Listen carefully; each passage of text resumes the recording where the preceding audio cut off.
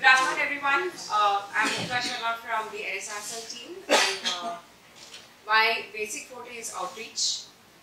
And um, to give you a little background of what I have been doing, I've actually moved from concept selling to hiring and uh, soft skills training, and now I'm on the other side of uh, being an entrepreneur in a way.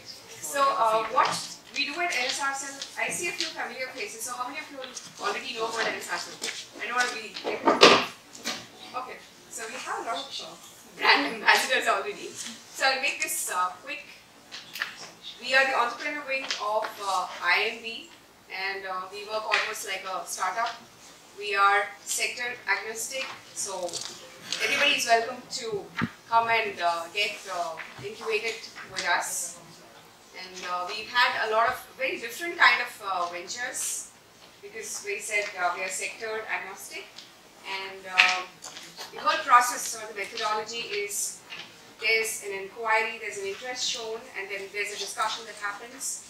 And during that time, um, the prospective startups figure out whether they want to continue with the same idea or move on.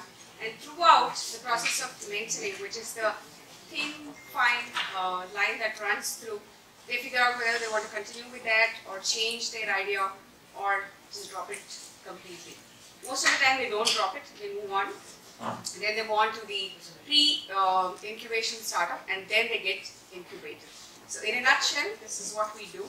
And uh, what is interesting is, uh, I think the mentors, the startups, and uh, everybody who is an incubator facilitator, everybody is under the same roof. And we all work at different hours, we are reachable. So there's constant interaction and it's an easy flow of communication across different lines. So that's about us in a nutshell. So welcome again and I'll let them take over. Thank you so much.